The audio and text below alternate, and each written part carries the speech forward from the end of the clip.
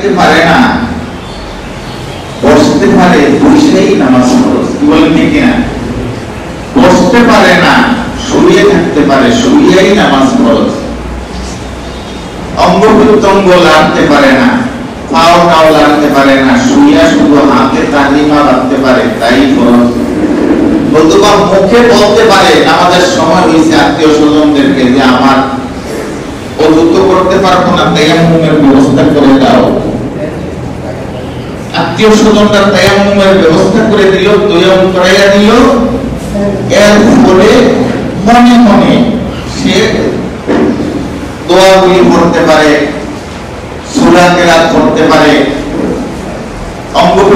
লাগতে পারে না, ওই অবস্থায় প্রতি ওয়াক্তে যখন ওয়াক্ত হবে, জিজ্ঞাসা করবে দুপুরের ওয়াক্ত হয়েছে? আত্মীয় স্বজন বলে হ্যাঁ হয়েছে। তাইলে আমাকে তায়াম্মুম করাইয়া দাও। এবং আমাকে নামাজ পড়তে দাও। আত্মীয় স্বজনরা যদি এই ব্যবস্থাটা করে দেয়, ওই লোকের উপরে ফরজ কিন্তু সে মনে মনে ইশারায় আগে খেয়াল করবে যে আমি হাত লাগতে পারে না পারছে শুধু। হাত লাগতে পারে না, খেয়াল করবে যে আমি তাকবীরে তাহরিমা বাড়তেছি, আল্লাহু আকবার। এরপরে তাহরিমার উপরে আনা করবে সুবহানাকা, আল্লাহুম্মা ওয়া বিহামদিকা আনা করবে। করবে রুকুর শুধু নিয়ত করবে যে আমি রুকু করতেছি, রুকুর করবে। এই লোকের উপরও নামাজ পড়া ফরজ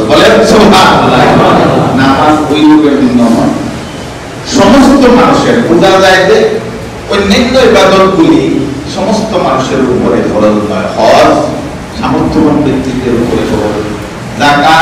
যাদেরকে যাকাতের পরিমাণ মাল দেওয়া হয়েছে, তাদের উপরে ফরজ।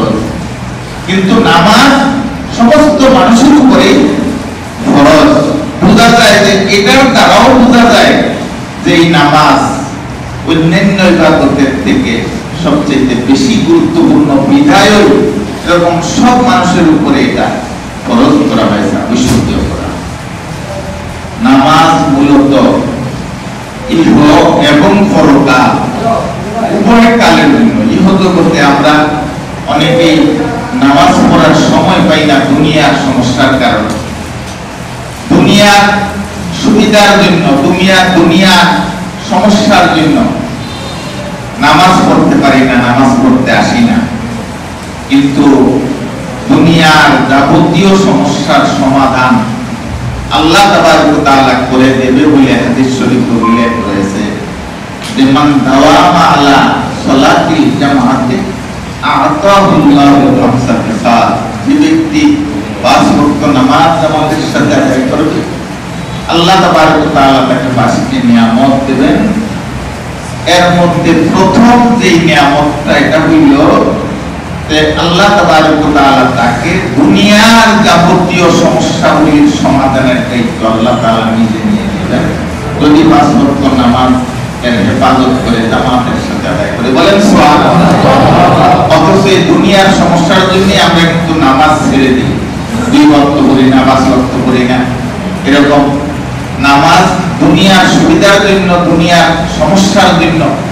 নামাজ ছেড়ে দিই।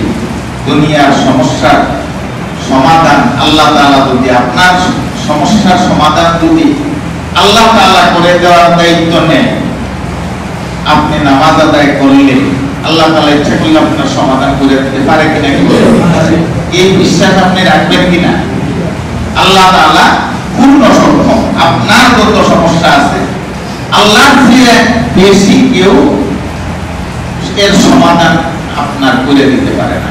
পাঁচ ওয়াক্ত নামাজ জামাতের সাথে আদায় করা হলে আপনি যে দেখেন একজন রিক্সাওয়ালা যে অটো চালায়, সে সারাদিন অটো চালাইয়া যে ব্যক্তি নামাজি অটো চালাই না লোক। তাকে জিজ্ঞাসা করে দেখেন, আমি এরকম জিজ্ঞাসা করছি। ওই নামাজ আইসা এখানে অটো রাইখা আইসা নামাজ পড়ে আবার চলে যায়। এরকম পাঁচ ভক্ত নামাজ জামাতের সাথে আদায় করে অটো চালায়। এই লোক জিজ্ঞাসা করছি যে, এই যে নামাজ টামাজ পড়ে এরপরে বাকি সময়টুকুতে আপনি যে গাড়ি চালান এতে আপনার পরিবার, পরিজন নিয়ে আপনি সুখে শান্তিতে আছেন, নাকি কোনো সমস্যা ভোগ করেন, সমস্যায় আছেন? কেমন লাগে আপনার কাছে আপনি নামাজ আদায়ের পরে আপনি যে আপনার এই দায়িত্বটা পালন করতেছেন? কয়েকজন এই রিক্সাওয়ালাকে, অটোওয়ালাকে আমি জিজ্ঞাসা করেছি, তাদের কাছ থেকে জানতে পেরেছি নামাজি অটোওয়ালাগুলি বলতেছে যে, হুজুর, আমি যে শান্তিতে আছি, সারাদিন যায় রোজগার করতে পারি এইগুলি দিয়েই বাজার করে যা বাসায় নিয়ে যাই। পরিবার এবং বাচ্চা কাচ্চারা এগুলি খেয়ে অত্যন্ত সন্তুষ্ট, আমি তাদেরকে নিয়ে খুব আনন্দে আছি, খুব শান্তিতে আছি বলেন আর যাইয়া দেখেন, দুই বেলা নামাজ পড়তে পারে না তিন বেলা নামাজ পড়তে পারে না, কোটি কোটি টাকার মালিক বিরাট বড় ব্যবসা, ব্যবসার কারণে জামাতে আসতে পারে না, নামাজে আসতে পারে না। খোঁজ নিলে দেখা যাবে যে পরিবারের অশান্তির কোনো শেষ নাই। কি বলেন, আছে কোটি কোটি টাকার মালিক। শান্তি দেওয়ার একমাত্র মালিক কে? আল্লাহ শান্তি আল্লাহ আল্লাহ প্রথম নিয়ামত, পাঁচটা নিয়ামতের প্রথম নিয়ামত ঘোষণা করেছেন যে, ইয়ারফাউ আনহু দাইকাল মাইশা দুনিয়া যাবতীয় সমস্যাগুলি সমাধান সমস্যাগুলি আল্লাহ তাআলা তার দূর করে দেবে যদি সে ওয়াক্ত নামাজ জামাতের সাথে আদায় করে। এই গেল দুনিয়া সমস্যাগুলির কথা। এরপরের বিষয়গুলি আপনার এরপরে দুনিয়ার থেকে বিদায় নিয়ে যাবে কবরে। দ্বিতীয় নিয়ামত হইল তার তার কবরের আল্লাহ তাআলা করে দেবে, কবরের তার দূর করে দেবে। বলেন তৃতীয় নিয়ামত হইল তাকে যখন কি আমল নামা হাতে দেওয়া হবে, যাদের হাসরের মাঠে ডান হাতে আমল নামা আসবে তারা চিহ্নিত হয়ে যাবে, সবাই বুঝতে পারবে যে এরা নেককার হিসেবে সাব্যস্ত হয়েছে বলেন আর পাঁচ নামাজ যারা জামাতের সাথে আদায় করে, এই লোকগুলি আপনার আসরের মাঠে তাদেরকে ডান হাতে ওয়ায়ুরতি কিতাবাহু বিয়ামিনি। তাদের এই পাঁচ নামাজি ব্যক্তির আসরের মাঠে ডান হাতে আমল নামা দেওয়া হবে। এটা হলো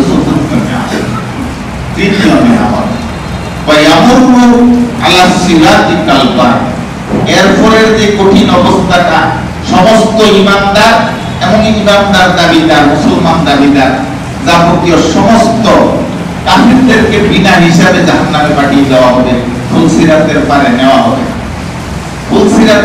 নেওয়া হবে মুসলমান দাবি করে, এরকম মুনাফিক হোক, ইমান নাই, কিন্তু দাবি করে মুসলমান এমন। আর সমস্ত মুসলমান দাবিদার এই লোকগুলাকে ফুলসিরাতের পারে নেওয়া হবে। আল্লাহ রাসূল বলেন যে ওয়ায়ামুরু আলা সিরাতি কালবা চতুর্থ নিয়ামত হইল। বিদ্যুতের গতিতে তাকে ফুলসিরাত পার হতে দেওয়া হবে। বলেন সুবহানাল্লাহ। পঞ্চম নিয়ামত হইল, ওয়ায়াদখুলুল জান্নাতা বিগাইরি হিসাব। বিনা হিসাবে কোন হিসাব নিকাশ ছাড়া। আসরের মাঠে যদি হিসাব হয়, হিসাব দিয়ে জান্নাতে যাওয়া কারও জন্য সম্ভব হবে। আসরের মাঠে হিসাব শুরু হইলে আল্লাহ রাসূল আয়েশাকে বলেছেন, ইন্নাহু মান মুকিশা ইয়া আয়েশা আল্লাহ হে আয়েশা, যাকে একবার হিসাবের জন্য পাকড়াও করা হবে হাসরের মাঠে মনে রাখবে যে সে কি হয়েছে, ধ্বংস হয়েছে। হিসাব দিয়ে জান্নাতে যাওয়া তার জন্য সম্ভব হবে। আয়েশা জিজ্ঞাসা করেছিল যে রাসূলুল্লাহ, তাহলে সহজ হিসাবটা কেমন হবে? রাসূল বলেছেন যে, আমল নামা দেখা হবে, দেখা যা আছে ভুল ত্রুটি, এরকম সুখ আর নেক পথ যা আছে, সবগুলি দেখে আল্লাহ তাআলা দয়া হয়ে যাবে। আল্লাহ তাআলা বলবে যে, যাও তোমাকে মাফ করে দেওয়া হবে। বলেন যদি আল্লাহ এরকম মাফ করে দেওয়া হলো এরকম না করে তাইলে জান্নাতে যাওয়া সম্ভব হবে। তো আল্লাহ তাআলা বিনা হিসাবে হিসাব নিবে না, হিসাব নিলে কেউ জান্নাতে যাইতে পারবে না। বিনা হিসাবে জান্নাতি করে দেবে আল্লাহ তাআলা সেই সব ব্যক্তিকে যারা পাঁচ ওয়াক্ত নামাজকে জামাতের সাথে আপনার আদায় করবে তাকিদের সাথে জামাত তরক করতে কখনো চাইবে না। বেলা যদি কোনো ওজোর বসত তরক হয়, মনে অত্যন্ত ব্যথা, বেদনা অনুভব হবে যে নামাজটা আমার তরক হয়ে গেল, কষ্ট অনুভব হবে। এইরকম লোকগুলি, এই লোকগুলিকে পাঁচটি নিয়ামত দেওয়া হবে। আল্লাহ এই পাঁচ নিয়ামত তাদের জন্য রেখেছে মূলত এই নামাজ হইল আল্লাহ তাআলার সাথে সরাসরি বান্দার একটা সংযোগ, আল্লাহ তাআলার সাথে যোগাযোগ, সাক্ষাৎ এই নামাজে দাঁড়িয়ে বান্দা হাদিস শরীফে ঘোষণা করেছেন যে, রাসূলকে জিজ্ঞাসা করা হয়েছিল যে, ইয়া রাসূলুল্লাহ, বান্দা আল্লাহ তাআলার সবথেকে নিকটতম অবস্থানে কখন থাকে? রাসূল উত্তরে বলেন যে, বান্দা এই নামাজের মধ্যে যখন সেজদারত অবস্থায় আল্লাহ তাআলাকে খেয়াল করে যে সেই আমার মহামণিবের সামনে আমি আমার মাথা নত করেছি। সেই মহামণিব আমাকে দেখতেছে, এই অবস্থাটা হইল সবচেয়ে আল্লাহ তাআলার কাছে নিকটতম অবস্থা, বান্দার জন্য সবচেয়ে নিকটতম অবস্থা হইল নামাজের মধ্যে সেজদারত অবস্থা। এই সেজদা, সেজদার মধ্যে আল্লাহ তাআলার নৈকট্য লাভ হয়ে থাকে। আল্লাহ তাআলার সবচেয়ে নিকটে অবস্থান করে থাকে বান্দা কিন্তু এই নামাজের মধ্যে আমরা যখন দাঁড়াই, নামাজের মধ্যে মূলত খুশু ব্যতীত নামাজ আল্লাহ তাআলার দরবারে কবুল হয় যারা নামাজ আদায় করবে, নামাজ মানুষকে দুনিয়ার যাবতীয় নিষিদ্ধ কাজ, আল্লাহ এবং আল্লাহ তরফ থেকে যা নিষেধ করা হয়েছে, সমস্ত নিষিদ্ধ কাজ থেকে এই নামাজ মানুষকে ফিরিয়ে রাখে নামাজ যে ব্যক্তি যথাযথভাবে আদায় করে এবং মনে করে যে তাকে আল্লাহ দেখে এই কথাটা তার অন্তরে বদ্ধমূল করতে পারে, জাগরিত করতে পারে যে আল্লাহ আমাকে সর্ব অবস্থায় দেখে। অতএব অন্যের অন্যের মাল আমি গোপনে আমি নিয়ে নিয়ে আত্মসাৎ করলাম। এই করার সময় আল্লাহ তাআলা দেখে, নামাজের মধ্যে যখন আল্লাহ তাআলা দেখে এই খেয়ালটা তার অন্তরে সৃষ্টি হয়, ওই পরের মাল ছিনিয়ে নেওয়ার সময়ও ওই কথাটা তার সৃষ্টি হয় যে আল্লাহ তাআলা তো আমাকে দেখে এবং হাসরের মাঠে তো আমি আল্লাহর কাছে এই এই পরের হক ছিনিয়ে নেওয়ার ব্যাপারে জবাব জবাবদিহি তার সম্মুখীন হইতে হবে। আপনার তাকে ওই নিষিদ্ধ কাজ থেকে ফিরিয়ে রাখে এজন্য কোরআনে কারিমে বলা হয়েছে ইন্নাস সালাতা তানহা আনিল ফাহশাই ওয়াল মুনকার। নিশ্চয়ই নামাজ মানুষকে ফাহিশা কাজ থেকে, নির্লজ্জ কাজ থেকে এবং নিষিদ্ধ কাজ থেকে নামাজ মানুষকে ফিরিয়ে রাখে মূলত আমরা নামাজও পড়ি, আবার সব নিষিদ্ধ কাজও কিন্তু বলেন, ঠিক কিনা? অনেক লোক আছে যে মসজিদে দেখা যায় সবচেয়ে কাতারে আবার বাইরে পড়ে পরের হক নষ্ট করার ব্যাপারে সবার আগে সবচেয়ে আপনার বিচার করবে, উভয় দলের থেকে টাকা খাইয়া বিচার করে। গ্রাম এলাকায় আপনার বিভিন্ন স্থানে বিচার আচার চলে। অথচ বিচারকদের মর্যাদা কত ঊর্ধ্বে? আপনি যাইয়া দেখেন যে বর্তমানের বিচারের বেশিরভাগ ক্ষেত্রে বিচারকরাই টাকা নিয়া, যার হক তাকে না যা যার হক না, অবৈধতা বিধান তাকে সেই হক দিয়ে দেওয়া হচ্ছে টাকার বিনিময়ে। বিচারের ফল এরকম হচ্ছে। কি বলেন, ঠিক না এরকম চলছে। এরকম আদালতেও টাকা দিয়ে আপনার কেসের মামলার রায় এদিক সেদিক হয়ে যাচ্ছে। বিভিন্ন স্থানে এইভাবে আপনার আল্লাহ তাআলা দেখে এই কথা যদি আমি নামাজের মধ্যে খেয়াল করতে পারি, তাইলে এই সমস্ত নিষিদ্ধ কাজ থেকে ফিরে থাকা আমার জন্য সহজ। এই নামাজই আমাকে সমস্ত কাজ থেকে ফিরিয়ে অথচ এই নামাজও আদায় করি, কিন্তু সমস্ত অবৈধ কাজও আমরা করতে এই কারণে মূলত বোঝা যায় যে সঠিকভাবে নামাজটা আমাদের আদায় হয়। কি বলেন, ঠিক কিনা? যদি নামাজটা সঠিকভাবে আদায় হইতো, নামাজের মধ্যে যে বিষয়গুলি আবশ্যক চোদ্দ তেরোটা ফরজ। এই তেরোটা ফরজের সবই যদি আদায় না হয় সবগুলি যদি আদায় করা না হয়, এমনকি আপনার নামাজের জন্য এই শরীর পাক, জামা পাক, কাপড় চোপড় পাক, নামাজের জায়গা পাক, হওয়া আবশ্যক। অথচ এই পাকটা দুই ধরনের হইতে পারে, এক হলো সরাসরি নাফাকি থেকে পবিত্র হওয়া, আবার এরকম নাফাক মাল, অবৈধ মালের থেকেও আপনার পবিত্র হওয়া, আপনার কাপড়, আপনি যে মসল্লা দিয়ে নামাজ পড়ছেন, এই মসল্লাটা যদি সুদের টাকায় ক্রয় করা হয়, কি বলেন? হয় কি না? এরকম হয় ঘুষের টাকায় সুদের টাকায়, পরের হক নিয়ে জুলুমের টাকায়, এরকম চুরির টাকায় এই মসল্লা ক্রয় করা হয়। এমন কি হইতে পারে? ইমাম সাহেবকে যে মসল্লা কিনে দেওয়া হয়েছে এটাও হয়তো অবৈধ টাকায় কিনে দেওয়া হয়েছে। এরকম হইতে পারে, কি বলেন ঠিক কিনা? এখন যদি হয়, তাইলে এই নামাজ, নামাজের এক ফরজ বাদ হয়ে গেলে এই নামাজ কবুল হওয়ার কথা। কথা কিনা? এই নামাজ কবুল হওয়ার কথা। যার কারণে রাসূল সাল্লাল্লাহু আলাইহি ওয়াসাল্লাম হাদিস শরীফে ঘোষণা করেছেন যে, মান ইশতারা সাওবান যে ব্যক্তি একটা কাপড় ক্রয় করল বি আশারাতি দারাহিম 10 দিরহাম দিয়ে ওয়া ফিহি দিরহাম হারাম। এর মধ্যে একটা দিরহাম হইল হারাম টাকা। এটা যে কোনো অবৈধ চুরি চুরির টাকা হোক, আপনার সুদের টাকা হোক যে কোনো অবৈধ পন্থা, দশ টাকার মধ্যে এক টাকা হইল হারাম উপায় অর্জিত। বাকি নয় টাকাই হালাল। লাম ইয়াকবালিল্লাহু সালাতান।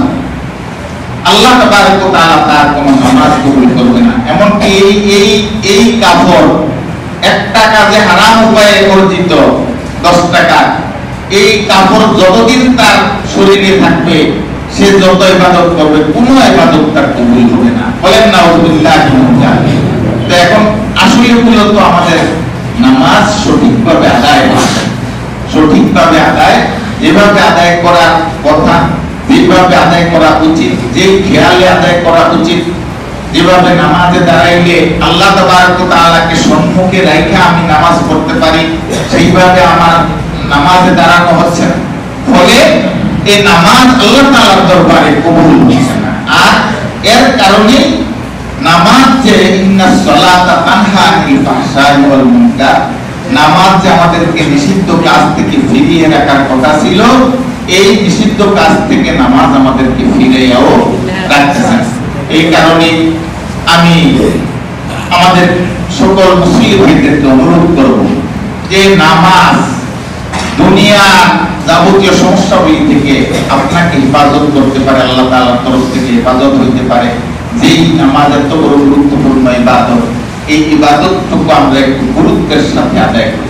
ইমানের পরে যে নামাজের স্থান এই নামাজটুকু যাতে যথাযথভাবে আদায় করতে পারি। আমরা এই ব্যাপারে সচেষ্ট হব। সবাই রাজি আছি ইনশাআল্লাহ? যদি রাজি থাকি, নামাজ মান হাফাজ আলাইহা, হাদিস শরীফ রাসূল বলেন যে ব্যক্তি নামাজের হেফাজত করবে লাহু নূরান, তার জন্য এই নামাজ তার জন্য নূর হবে হাসরের মাঠে নূর হবে। আর রাসূলকে জিজ্ঞাসা করা হয়েছিল যে রাসূলুল্লাহ আপনার এই কোটি কোটি মানুষের মধ্যে আদম থেকে নিয়ে কিয়ামত পর্যন্ত মানুষ, সব মানুষ হাসরের মাঠে থাকবে। আপনি আপনার উম্মতদেরকে কীভাবে চিনবেন, তাদের জন্য কীভাবে সুপারিশ করবেন? রাসূল বলেছেন যে, আমার উম্মতের যারা উজু সীমা হুম ফি উজুহিহিম মিন আসারিস সুজুদ। সিজদার কারণে কি হবে? নামাজের নামাজের উসিলায় তার চেহারার মধ্যে আলো উদ্ভাসিত হবে। এবং অজুর অঙ্গ প্রত্যঙ্গগুলি আলো উদ্ভাসিত থাকবে। আমি এগুলি দিয়েই চিনতে পারব আমার উম্মতের অন্যান্য সব উম্মতের থেকে আলাদা হয়ে যাবে। কানাত লাহু নূরান নামাজ তার জন্য আসরের মাঠে নূর হবে অবরহানান এবং নাজাতের মুক্তির জন্য দলিল হবে। এই নামাজ বা নাজাতে ইয়াউমাল কিয়ামা এবং কিয়ামতের দিনে এই নামাজ তার জন্য নাজাতের জন্য আর যে ব্যক্তি এই পাঁচ নামাজকে হেফাজত করবে না ওমাল লাহি হাফিজ আলাইহা, যে ব্যক্তি নামাজকে আপনার হেফাজত করবে না, যথাযথভাবে আদায় করবে না, গুরুত্ব সহকারে, মসজিদের দিকে তার দিল লটকানো থাকবে না, এরকম না গুরুত্বের সাথে নামাজ আদায় করবে না লাম ইউহাফিজ আলাইহা, লাম তার জন্য হাসরের মাঠে এই তার অঙ্গ প্রত্যঙ্গ গুলিও নূরে নূরান্বিত হবে না রাসূল ও উম্মত বলে চিনতে পারবে না, চিনার জন্য কোনো কোনো সুযোগ নাই। উম্মত চিনতে না পারে। রাসূল কি সুপারিশ করবে? কি বলেন? সুপারিশ করবে? করবে। অতএব যথাযথভাবে এই নামাজ দেওয়া কানাত লাম তাকুন ওয়ালা দলিল হবে না। এবং সে হাসরের মাঠে আল্লাহ রাসূল বলেন যে সে তার আসর হবে কারুন ফিরাউন এবং আমানের সাথে, কারুন ফিরাউন এবং আমানের সাথে তার আসর হবে সে ওই সমস্ত কাফিরদের সাথে উঠবে। কারণ হইল তার এই মুমিনদের যে চিহ্ন এই চিহ্ন তার থাকবে না। আল্লাহ তাবারক আমাদের সকলকে এই অবস্থা থেকে যাতে হেফাজত করে। সকলে বলে আমি প্রকৃত নামাজ যেভাবে আদায় করা উচিত সেভাবে নামাজ যাতে আদায় করতে পারি আল্লাহ যেন তৌফিক দেন। সকলে বলি আমি কোরআনে কারীমে আল্লাহ তাআলা আদেশ করেছেন সালাহ তোমরা নামাজ কায়েম। ওয়া আতুজ যাকাত এবং যাকাত আদায় করো। এবং আকরিদুল্লাহ কারদান হাসানা এবং আল্লাহ তাবারক তাআলাকে অর্থাৎ দরিদ্রদেরকে আল্লাহ তাআলা নিজের তো আর কর্জে হাসানা নেয় না। দরিদ্রদেরকে কর্জে হাসানা এরকম ঋণ প্রদান করবে। আকরিদুল্লাহ কারদান হাসানা আল্লাহ তাআলা আদেশ করেছেন কোরআনে কারীমের বিরাশি জায়গায় স্পষ্টভাবে আর অস্পষ্টভাবে অনেক জায়গায় আল্লাহ যেন এই গুরুত্বপূর্ণ এই আদেশ আমরা তাকে যথাযথভাবে পালন করতে পারি আল্লাহ যেন তৌফিক দান করে সকলে বলে আমি ওয়া আখিরু দাওয়ানা আলহামদুলিল্লাহি আলামিন।